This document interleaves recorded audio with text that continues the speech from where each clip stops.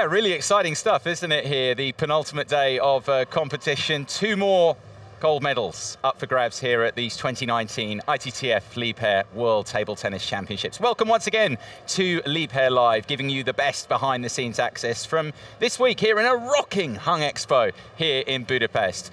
We've been uh, really blessed with some wonderful special guests uh, this week on the shows, and we're not letting up here with just a few to go. We've got a couple more stars to introduce you to. First of all, welcome along to Dina Meshref uh, from uh, the Egypt national team, top 50 player. Dina, hello to Hi. you.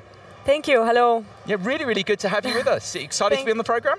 Thank you so much. Yes, I'm very excited and very happy to be with you. It's my pleasure. Thank you. Um, you've been here playing this week in the uh, the women's uh, singles and in the mixed doubles with Omar Assar. Omar's been helping us out quite a bit this week on uh, on Yeah, Liebherr Live. yeah, but in terms true. of yourself, um, how have you found it here? How's, how's the performances? How have you felt this week here in Budapest? Uh, actually, I could say that I've performed well. Thank God. Uh, I lost uh, against Jung Mo in the round of 64, 4-3. And before that, in the round of 128, I won against a very good Indian player. I was down 3-0 and then I won 4-3. Archana, you lost, Archana- uh, beat in the first round, yeah. Yeah, exactly. So I could say that I've performed well and the result was okay. I was hoping for more, but uh, the match against Jung Mo was very close, so I'm happy with my performance and the result. Yeah, I remember reading from you in, um, in uh, I think back in February when they were asking about your aspirations. You were looking at round of 16, so I guess second that's round, a little Yeah. bit disappointed. But I mean, you've played a lot of these world championships. I guess even in your mid 20s now, you're still still building the experience at this point. Yeah, that's true. I've played um, a lot of uh, world championships, teams and singles. Uh, but I'm still aiming for more, and I hope that in the future I do better results in the World Championships. Yeah. Yeah, we had the women's singles trophy on uh, a couple of nights ago. I'm sure you'll be going for it in uh, time to come. Alongside you, um, friend of Liebherr Live from the past, good to have Richard Prause back, the sports director of the German Table Tennis Association. Uh, good day to you, uh, Richard. Yeah, it's been a really um, exciting tournament. I guess the fans would like to hear from you, though, first of all, in your professional role, the German team. And um, I guess we come towards the end of a, a busy week. Your kind of reflections a little bit on, on how it's gone for you guys. Yeah, I mean, of course, we had one big target to win a medal here. Uh, this actually we succeeded in by winning a bronze medal in the mixed double event. But of course, as uh, everybody was probably following, it was very much an up and down for the German team. And uh, well, of course, uh, uh, the, the, the, the main thing for us was uh, to keep Timo in position. But unfortunately, at the end, yeah, we didn't we didn't succeed. Big success though, seeing here though in terms of medals, uh, you know, for Petrissa and uh, for Patrick in the uh, Patrick Franziska, Yeah. Petrissa Solja in the For mix. sure. For sure, and it was really a, a- great success. I mean, we had also a very special quarterfinal there. It was really like with this time medical timeout, and then the, at the end, how Patrick Franziska came back and without moving, really like going for the strokes and really finishing the points. This was really an amazing situation. Also, not that easy for the Japanese mixed doubles to to handle with this situation. But at the end, I think uh, very good win, very good result for the German team. I mean, big stories aside from that, that was obviously a success for you, but you would have looked for a bit more elsewhere because you've got big names in the Exactly. singles still. I mean, Timo Boll, Yeah. first of all, Yeah. when we lost Fan Zhendong from the draw, we naturally thought, okay, this is a big chance here for a few others, but for Timo included. But then, I mean, this is the nature of sport, isn't it? What happened to him? Yeah, exactly. I mean, uh, when uh, he was beating uh, Morizono in his last 32 m- uh, round match, uh, he was really playing well, moving well, and he went to sleep in the evening. And well, in the morning, the men's national team coach Jörg Roskopf knocked at my door, and he told me, "I have bad news. Timo is really sick, and well, we went directly to him together with our team doctor. And at that time, already in the morning, he had, uh, well, quite high fever, close to 39 degrees. And we tried to do everything that was possible, tried to find a medication. But actually, it got through the day even worse. So first, we had to pull out him from the singles, and we had mm. some small hopes still for the doubles. But then uh, during uh, the late afternoon, it got even worse. He had to warm it. It was funny actually, yeah. Richard, because I'm, I'm, sure Dina would have a view on this as well. Mm. Because uh, in players were asking, "How's Timo?" Because he's such a popular guy yeah, yeah, that you know players can lose. But actually, a lot of your colleagues were kind of saying, "Oh, you know, really genuinely concerned about him." Of uh, course, we, we like well. to watch him a lot, and we were waiting for his match. and unfortunately, uh, things like this happen, and uh, it's a fact. So we accepted it. yeah. Yeah. He's, he's, a very he's a very popular player, of exactly. course. Um, you're both very popular as well. Reminder, of course, um, if you want to speak to uh, either uh, Richard or uh, Dina, hashtag Liebherr Live through the Twitter or the Facebook. Uh, get your questions into them, and we'll uh, get to them later in the show. One more point to ask you, though, yeah. Richard. In the meantime, uh, we talk about Timo being a popular player. Dima, Dimitrij Ovtcharov is as well. Yeah. That was disappointing for him. He would have expected yeah, more, sure, I guess, from this sure. tournament. He was, he was uh, more than unhappy at the end with his performance. Also already struggling in the first round. And at the end, he had his chance against the well-playing Tomislav Pucar, but uh, not taking his chances there. And of course, this was a big upset for him. He expected more. He was ready to play the next matches against Koki Niwa or against Fan Zhendong. But at the end, you have to do step by step, and he failed his match in this last 32 rounds. So he will come back even stronger, I'm sure. But at this moment, right now, he's of course upset and disappointed. Yeah, no, it's very, very interesting tournament for the German team and great to get your thoughts on it, uh, Richard, there. Let's get to the business, though, in terms of this penultimate day of uh, competition. And where better place to start than the Women's Singles Championship match. All Chinese affair, but some great storylines around it. The two-time winner of the Grand Finals, Chen Meng, against the two-time former runner-up, trying to go third time lucky here at these World Championships, Liu Shiwen.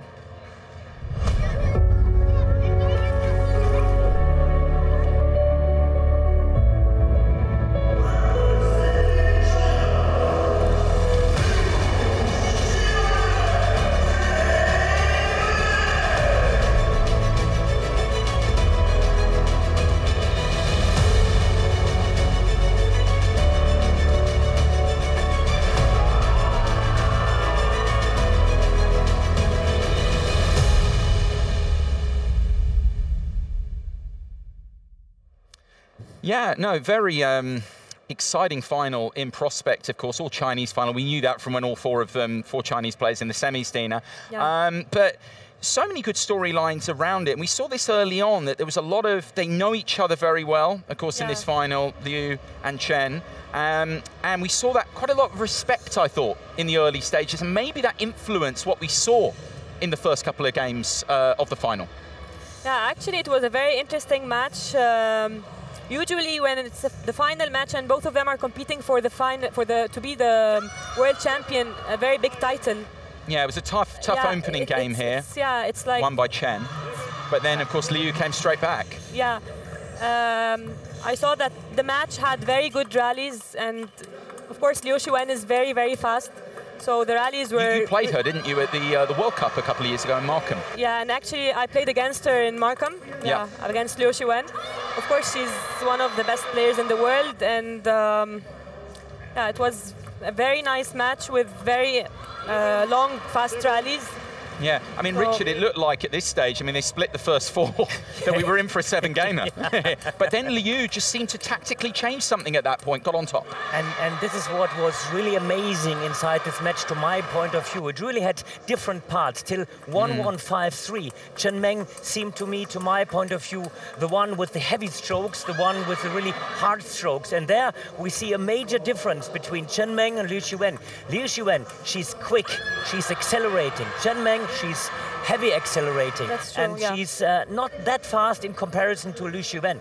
And that at the end made the difference. And it's and here we see this match ball also changing again to the deep forehand, yes. which was, to my point of view, always the main key. Not to stay in the backhand backhand, but to switch down the line. And we see, we see, we're just going to see the end here, Richard. Yeah. Uh, Yeah. I mean, joy for her because, of course, she'd lost two finals before, but it really was third time lucky. I mean, when you come close, just get thought from you, Richard. Hold the thought there. I mean, Dina, she come close. It's a funny sort of career because it's been incredibly successful, especially at the World Cups. But that feeling that at these events, the biggest events, she hasn't, you know, quite got there. But a different story today. Yeah, really, it was very touching and emotional that she finally won the event after six years, or she's been waiting for it. It, it seemed that she was very touched after winning, and she uh, she was crying, I think.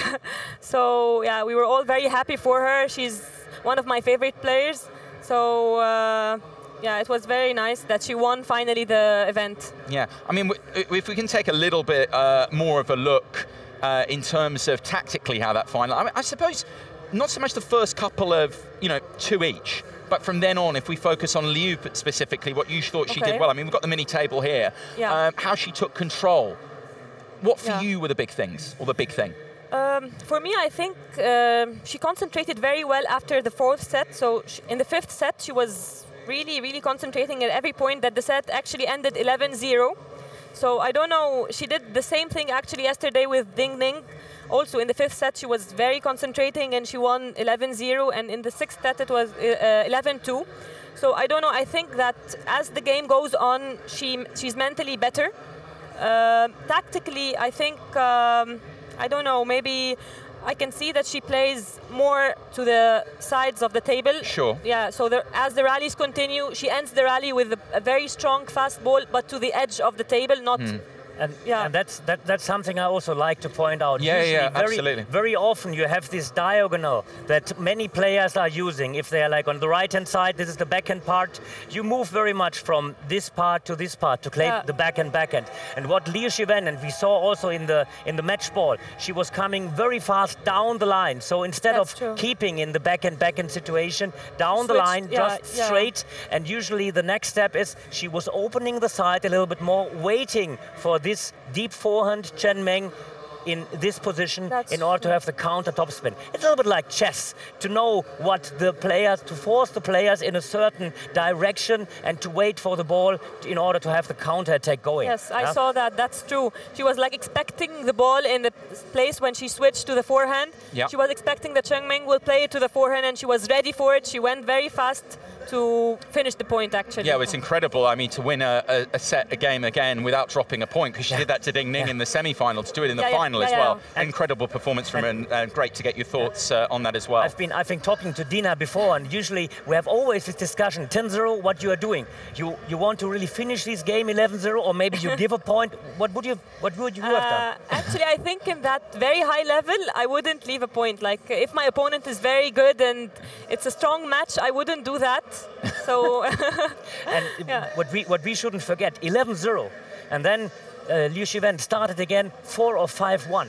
So it's like 15 to 1. This is an That's true. incredible rally. Yeah. Once Liu Shiwen starts get going, looks like you really cannot stop her. And this was really, you mentioned that before, a little bit similar to Ding Ning.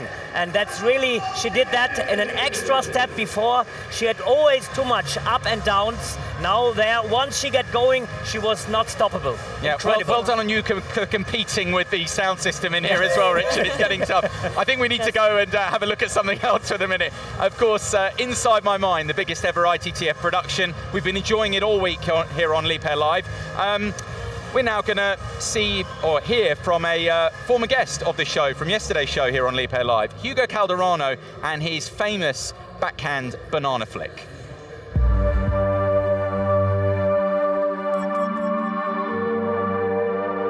Foco. Se conheça, saiba seus pontos fortes. Ele saca curto na minha direita. Hora da chiquita. Observe e siga a bola. Cotovelo alto e para frente.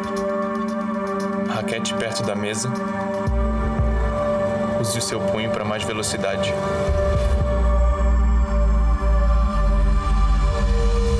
Resultado: uma devolução como eu queria.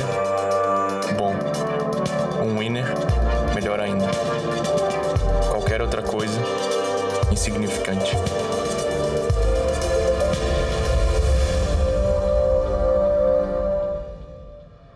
Good to uh, see Hugo Calderano in action there on Inside My Mind. Now, moving on, of course, we've had the women's singles final. The other final contested here on the penultimate day was the men's doubles. What a story this. Not so much Ma Long and uh, Wang Chuqin in this final, but of course the Spanish uh, Romanian pairing, uh, Alvaro Robles and uh, Ovidiu Ionescu.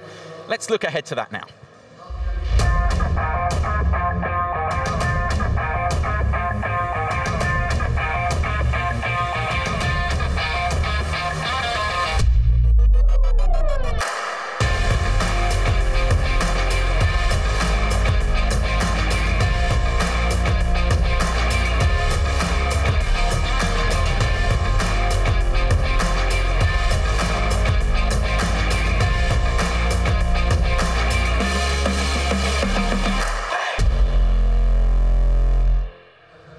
Of course, great achievement for Ma Long and Wang Chuqin at kind of different points of their careers to team up and get to the final. But what a story, of course, against Robles and Ionescu. Let's get straight to it, because this was an interesting final. I mean, one team you'd expect to be there and one you wouldn't. I mean, we're going to take a look at some of it now with, uh, with uh, you, Dina, and with you, Richard. Um, very important start to the match, I kind of felt, commentating this, particularly for the surprise package of the tournament, how they started this final. Yeah, yeah. I mean, uh, main thing is there, you, you see the first uh, game was like easy prey for Ma Long and Wang Chuqin, but you see uh, these kind of rallies, the way they start to move, the Chinese pairing showed that also Robles and Ionescu, they were really arrived in the game. Yeah. And uh, I well, mean, they were level at that yeah, stage. They, they level. This was historic, wasn't yeah, it? Because you had first time either in terms of Spain or Romania in a World Championship Ex final. Exactly, exactly. Yeah. It was great success for them, and we shouldn't forget yesterday in the semi-final, 4-8 they have been down before they came back to win 11-8 in the seventh. Incredible against comeback. Apolonia and Montero. Against Apolonia yeah. and Montero. And at the end, I mean, we see the Chinese pairing proved to be, at the end, really too strong. And um, was interesting. When I saw the match today, I thought uh, Ma Long is kind of the safety belt of uh, Wang Chuqin because Wang Chuqin was really playing on a very high level, but at the same time on a very high risk. But knowing that Ma Long is by his side, he really was able to really go for the balls and yeah, secures his first World Championship title. Incredible. Yeah, the Iran Cup, the trophy yeah. that's given to uh, the winners of uh, the men's doubles. I mean, it must be amazing, Dina, for you looking at I mean, Ma Long is a legend, but Wang Chuqin, because I was commentating at the Youth Olympic Games in Buenos Aires uh-huh. at the end of last uh, year, and we had obviously Sun Ying Sha on your side of things, but Wang Chuqin, amazing this guy at yeah. 18, how good yeah. he already is. Yeah, he's really good, and I'm actually a fan of him since uh, before even the Youth Olympics. I've been seeing him playing and I like his game so much because also he's a left-hander and I'm, I'm a left-hander also. So I love his game and it's amazing how young he is and at the same time competing at this very high level. So um, yeah, actually I, I, love how he plays and uh, it seems that with Malong, he's playing very well in the doubles. Yeah, they're the world champions now in men's doubles. I mean, it's an interesting thing for me, get both of your thoughts on this, maybe you know talk to each other about it in a way. I mean, it's uh, the idea of a mentor in a way because Wang you've got Ma Long there. I mean, you couldn't yeah. have a much better mentor. Yeah. But the idea of mentoring, of partnering up teams, Richard, you know, with that, the idea of a younger player going yeah. with an established older one, I guess you get a little bit of that with Omar when you play with him as well. Yeah, yeah. That, that, that, dynamic is an interesting one. Uh, that's true. And actually, Omar and I have been playing together for a since a very long time. So I think that's also something very critical when you, uh, when you talk about the doubles.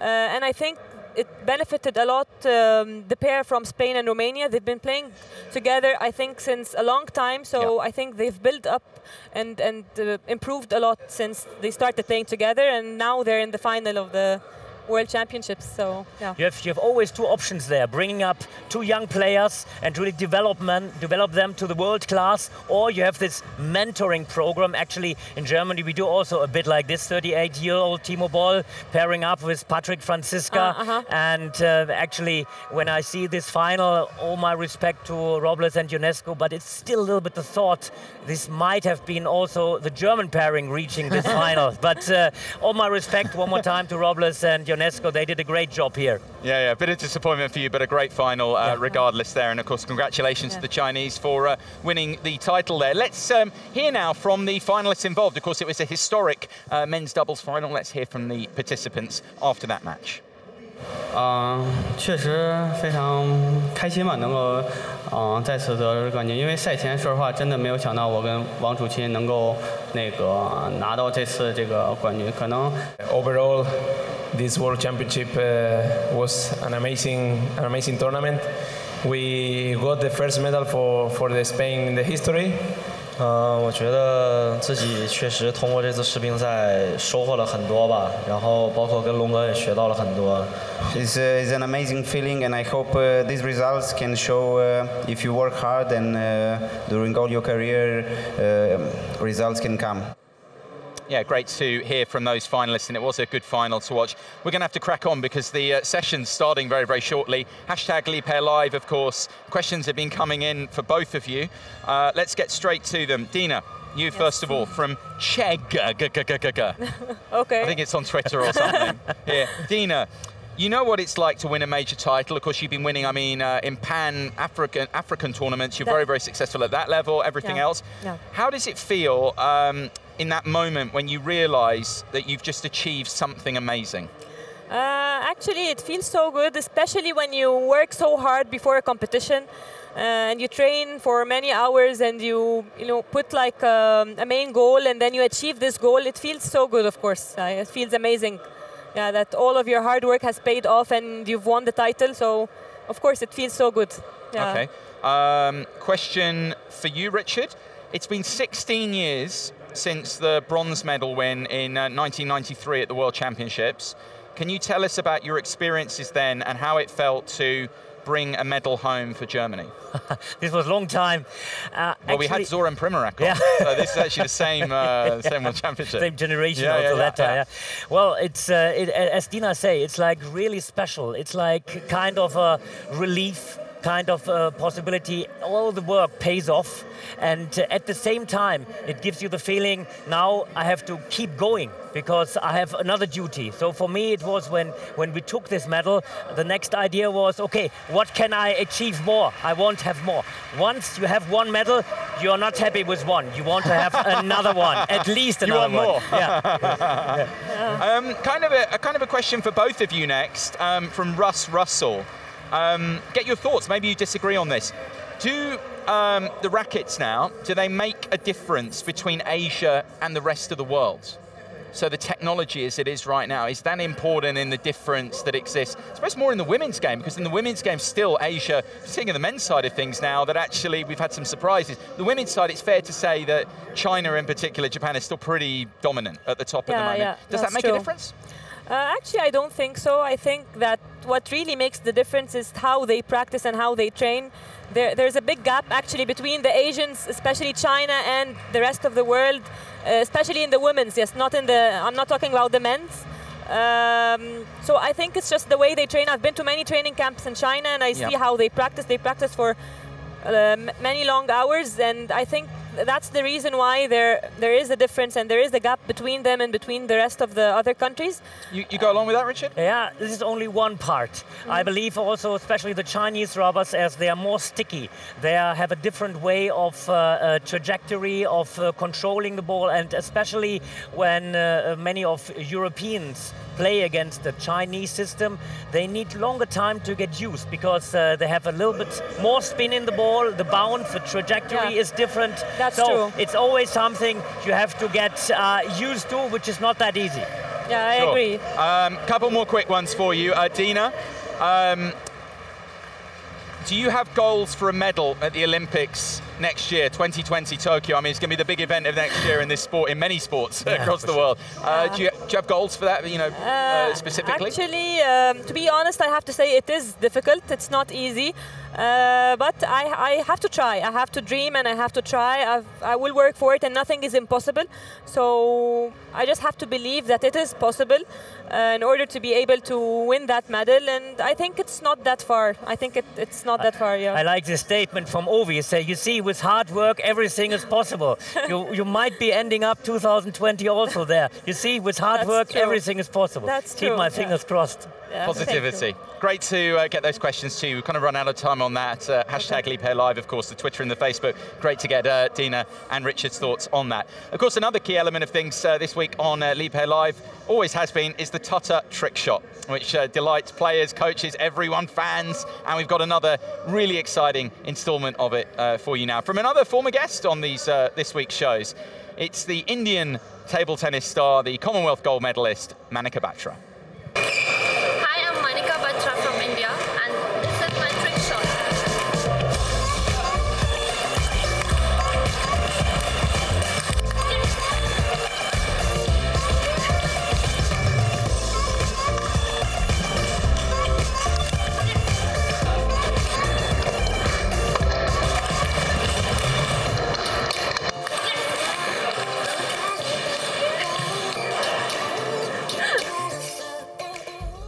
Yeah, she's quite a personality, Manika Batra. We had her on the show, and um, that was a pretty awesome, uh, awesome trick shot there overall as well. Let's um, move on then to what we've got coming up. The uh, session to come and have a little look at the matches before we leave you here on uh, Liebherr Live. We're going to bring the uh, the schedule up uh, on the screen now. Um, what are you looking out for here? I mean, we've got these these men's semi-finals. First of all, it's difficult to take your eyes away from these uh, from these singles semi-finals, Dina. Yeah, of course.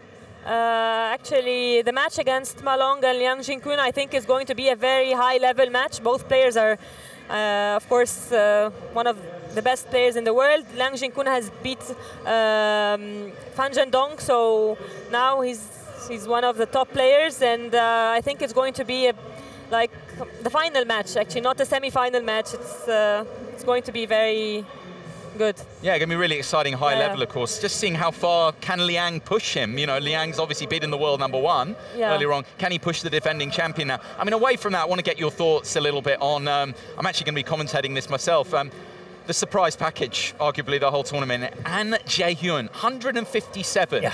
The Korean Republic, number 10.